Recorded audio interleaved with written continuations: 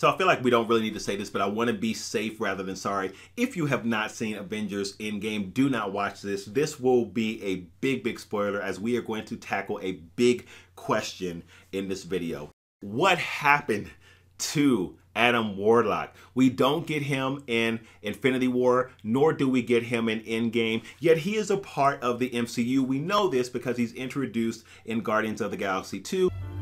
That, my child, is the next step in our evolution. I think I shall call him Adam.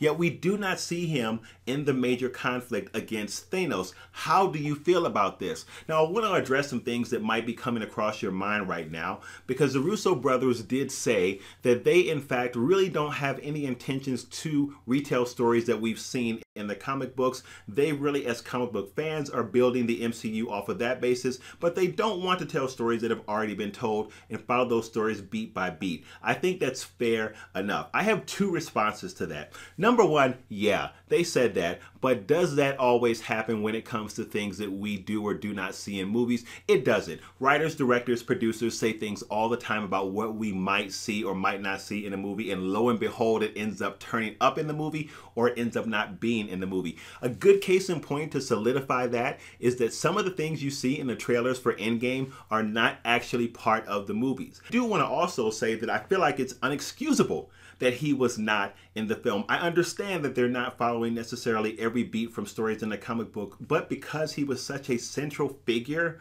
I don't know how it is that you remove him totally. Now, that said, some are satisfied because they do think that we will see him later on, and I think that we will too. I mean, he's there. As I said, he's part of the MCU, and the theory is that we will likely see him truly introduced in Guardians of the Galaxy 3, and we might actually see him introduced in the fashion of a villain. He might be the one to take the place of Thanos. There's some other theories floating around out there too. Big buzz about Galactus coming on the scene and being that villain as well. So I do think that if they bring in Adam Warlock as a villain, it actually would have been much more interesting to have him as part of the Avengers and engage Thanos and then transition from the position of hero to villain. I think that would have been much more fascinating to see as part of phase four progresses and moves forward. Now, having said all of that, I'm not knocking Endgame. I just really wish we could have had Adam Warlock involved in the conflict, but Endgame is the best comic book movie I've ever seen. Follow me to my next video where I give an unedited